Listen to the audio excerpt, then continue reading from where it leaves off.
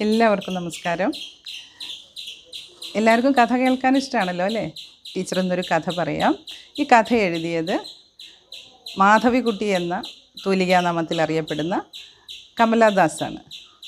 അവരുടെ നെയ്പ്പായസം എന്ന കഥയാണ് ആ കഥ. അവരുടെ ഏറ്റവും പ്രിയപ്പെട്ട കഥകൾ എന്നതിൽ ഉൾപ്പെടുത്തിയിട്ടുണ്ട്. എല്ലാവർക്കും നെയ്പ്പായസം ഇഷ്ടമല്ലേ കഴിച്ചിട്ടില്ലേ എല്ലാവരും?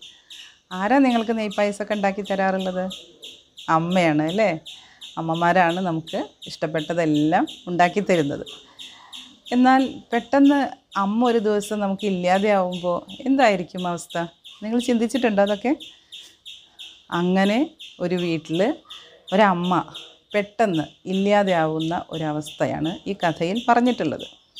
ഒരച്ഛനും അമ്മയും മൂന്ന് ആൺമക്കളും അടങ്ങിയ ഒരു കുടുംബം. മക്കൾ ഉണ്ണി ബാലൻ രാജൻ. ഉണ്ണിക്ക് പത്ത് വയസ്സ് ബാലന് ഏഴ് വയസ്സ് രാജന് അഞ്ച് വയസ്സ്. അപ്പോൾ ഈ അമ്മ എന്താ ചെയ്യുക എൽ രാവിലെ ആവുമ്പോൾ എല്ലാവരെയും വിളിച്ചുണർത്തി അവർക്ക് വേണ്ടതെല്ലാം ചെയ്തു കൊടുക്കും. അമ്മയ്ക്ക് അമ്മയൊന്നും ശ്രദ്ധിക്കാനൊന്നും നേരമില്ല. ഈ അച്ഛനും മക്കൾക്കും വേണ്ടി ജീവിക്കുകയാണ്. മക്കൾക്ക് വേണ്ടുന്ന കാര്യങ്ങൾ ചെയ്തു കൊടുക്കും അച്ഛന് വേണ്ടുന്ന കാര്യങ്ങൾ ചെയ്തു കൊടുക്കും. അപ്പോൾ അമ്മയെ ഒന്നും ആരും അങ്ങനെ പ്രത്യേകം ശ്രദ്ധിക്കണമൊന്നുമില്ല. അമ്മ അമ്മയുടെ ജോലിയായിട്ട് ഇങ്ങനെ പോകും അങ്ങനെ ജീവിച്ചു പോവുകയാണ്.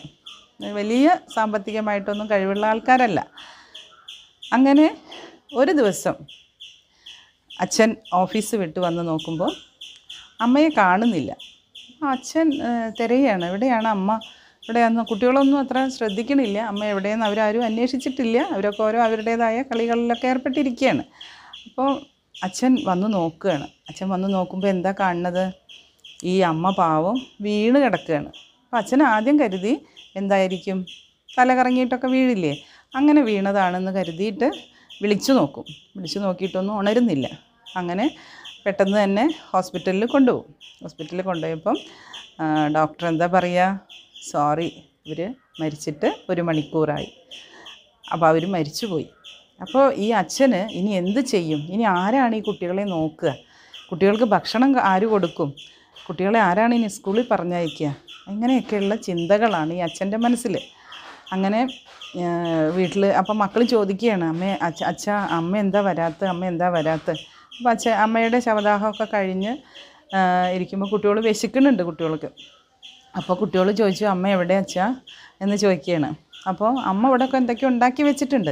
അപ്പോൾ അടുക്കളയിൽ ഈ അച്ഛൻ പോയി നോക്കും. അപ്പോൾ അതിൽ ഉപ്പേരിയുണ്ട് ചപ്പാത്തി ഉരുളക്കിഴങ്ങ് കറി ഒക്കെ ഉണ്ട്. പിന്നെ ഒരു സ്ഫടിക പാത്രത്തിൽ പൊന്തിച്ച് നോക്കിയപ്പോൾ എന്താ കാണുന്നത്? അതിന്റെ അടപ്പ് തുറന്നു നോക്കിയപ്പോൾ അതിൽ കുറച്ച് നെയ്പ്പായസമാണ് ഈ അമ്മ എപ്പോഴും കുട്ടികൾക്ക് ഉണ്ടാക്കി കൊടുക്കാറുള്ള ഒന്നാണത്.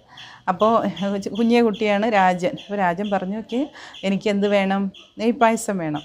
പക്ഷേ നമ്മൾ മരിച്ചു കിടന്നിട്ടുണ്ടെങ്കിൽ ആ വീട്ടിൽ നിന്നൊന്നും നമ്മളൊന്നും കഴിക്കാറില്ലല്ലോ. പ്രത്യേകിച്ച് മരിച്ച ആൾ ഉണ്ടാക്കിയത്. അപ്പോൾ ഇനി എന്ത് ചെയ്യും എന്ന് അച്ഛനിങ്ങനെ ആലോചിക്കുകയാണ്. ഇനി എന്താ ചെയ്യുക അപ്പോൾ അച്ഛൻ പറയും മക്കളെ ഇനി അത് കഴിക്കണ്ട. അച്ഛൻ വേറെ ഉപ്പുമാവൊക്കെ ഉണ്ടാക്കി തരാമെന്ന് പറയും.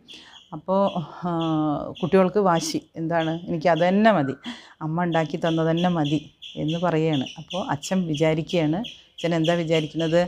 ഇനി ഈ അമ്മയുടെ ഭക്ഷണം അവർക്ക് കഴിക്കാൻ പറ്റില്ലല്ലോ. അമ്മ മരിച്ചു പോയില്ലേ. അപ്പോൾ സാരമില്ല. കുട്ടികൾ കഴിച്ചോട്ടെ. അങ്ങനെ ആ കുട്ടികൾക്ക് അച്ഛൻ ഈ ഭക്ഷണം വിളമ്പി കൊടുക്കുന്നതാണ് കഥ.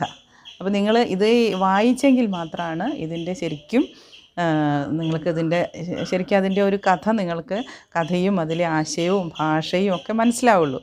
അപ്പോൾ നിങ്ങൾ എന്ത് ചെയ്യണം? ഈ പുസ്തകം എല്ലാവരും ഒന്ന് വായിക്കുക. ഇതാണ് ആ പുസ്തകം. എന്റെ പ്രിയപ്പെട്ട കഥകൾ. കേട്ടോ? മാധവിക്കുട്ടിയുടെ എന്റെ പ്രിയപ്പെട്ട കഥകൾ. നിങ്ങൾക്ക് എല്ലാവർക്കും ഈ കഥ ഇഷ്ടമായി എന്ന് വിചാരിക്കണു ഇതുപോലെ നിങ്ങളും പുസ്തകങ്ങൾ പരിചയപ്പെടുത്തുക മറ്റുള്ളവർക്ക് കഥ പറഞ്ഞു കൊടുക്കുക ഒക്കെ ചെയ്യണം. ഓക്കെ. താങ്ക്